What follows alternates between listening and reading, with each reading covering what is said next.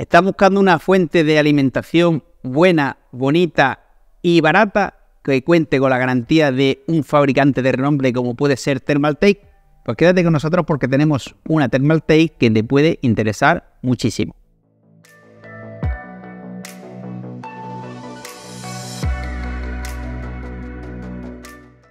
Muy buenas a todos y bienvenidos a Gaming.es. Continuamos con nuestra build o nuestro montaje de PC de Thermaltake con la fuente de alimentación Thermaltake to Power GF1 en su versión, en su versión, perdón, 650 vatios Snow. Y lo de Snow es básicamente porque, como estáis viendo ya, es de color blanquita para estar a juego tanto con nuestra refrigeración líquida como con nuestro chasis de PC sin renunciar a una construcción de calidad en la que tenemos los mejores componentes, la mejor refrigeración, un funcionamiento extraordinariamente silencioso y obviamente muy estable y eh, sin obviamente olvidar que estamos ante Thermaltake, un fabricante que lleva con nosotros muchísimos años y demostrando que es eh, perfectamente capaz de fabricar eh, productos totalmente premium con un precio muy asequible y obviamente la mejor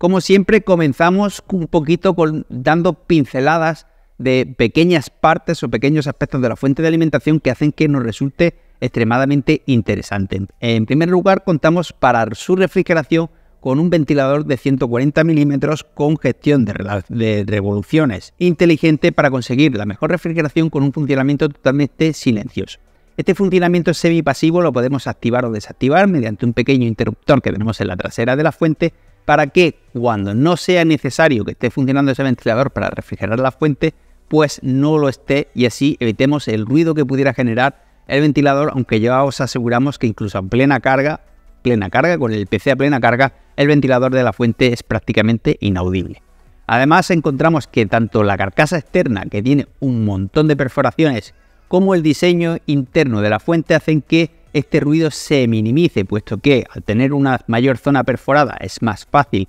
eh, que, obtener un buen airflow dentro de la fuente para su refrigeración y el diseño interior sin cables de la misma evita, evita silivancias o pequeños ruidos que se pudieran producir al circular el aire por interior de la fuente de alimentación. En lo referente al suministro de energía, Thermaltake eh, promete ondulaciones inferiores a 30 eh, MV tanto en 12 voltios como en 5 voltios y 3,3 voltios desde el 0 al 100% de la carga. Además, sabemos que el estándar de Intel es de un 5% de eh, margen de error en el suministro eh, para cualquiera de los raíles, pero Thermaltake eh, esa cifra la reduce a tan solo el 2% y ofreciendo un único y poderoso raíl de 12 voltios para conseguir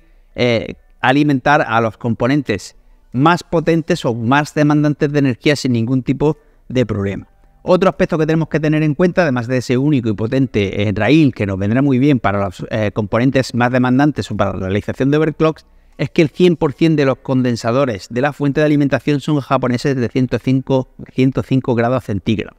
Por lo tanto, al tener los mejores condensadores del mercado, se nos garantiza la mayor durabilidad y la mayor estabilidad en el suministro energético, teniendo, gracias a la implementación de esto y de un ventilador extremadamente premium, con cojinete doble hidráulico, la garantía que nos ofrece el fabricante de 10 años, por lo que se nos garantiza que la inversión la vamos a amortizar durante 10 añitos de funcionamiento de estabilidad y silencio.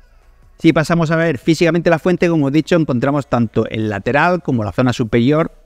la trasera y la trasera totalmente perforados para mejorar la refrigeración de la fuente, así como un acabado muy premium. A nosotros estéticamente la fuente nos ha gustado mucho, es digna de lucirse en montajes open frame o en chasis en los que se vea la fuente de alimentación, puesto que es muy bonita. La serigrafía o el logotipo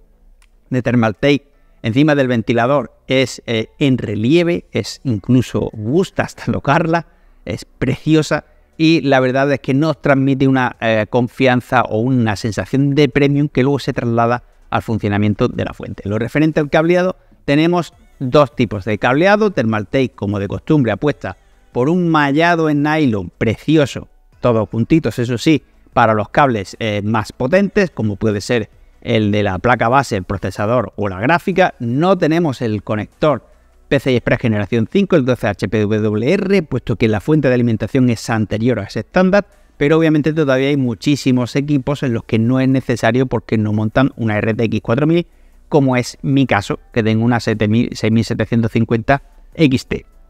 Y por tanto podemos todavía darle mucho uso a este tipo de fuentes de alimentación, sin contar obviamente que también podemos hacer uso de adaptadores para montar ese tipo de gráficas.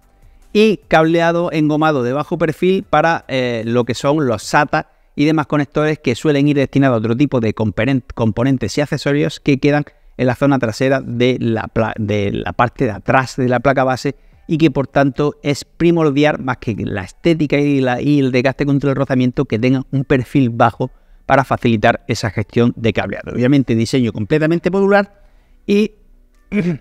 como de costumbre mientras vais viendo el pequeño test que hacemos con AIDA 64 de todas las fuentes de alimentación, vamos a hablar de la experiencia de uso y conclusiones. ¿Y qué os vamos a decir de una fuente que es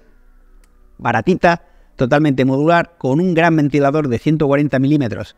y eh, la máxima durabilidad gracias a su rodamiento y silencio de, ejecución gracias al modo semipasivo y a los silenciosos que de por sí son los ventiladores de Thermaltake con los mejores componentes de alimentación gracias a esos condensadores de 105 grados centígrados, cableado super premium y diseño totalmente modular, y una fuente que estéticamente y eh, en materiales es simplemente sublime.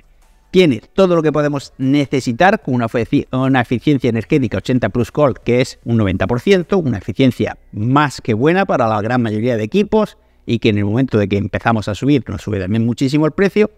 y con la mejor estética y el mejor precio. Yo básicamente creo que no se le puede pedir más. Y por todo esto le otorgamos los galardones de diseño, premium recomendado y calidad-precio a esta Thermaltake Top Power GF1 650 vatios, tanto en su versión Snow, porque tenemos un PC blanquito, como en la versión normal, obviamente, si vais a montar un PC en el que predomine el negro. Muchísimas gracias por haber llegado aquí hasta aquí. Recordad que nos queda otro vídeo de Thermaltake con la refrigeración líquida y con eso cerramos el montaje del equipo. Muchas gracias y un saludo.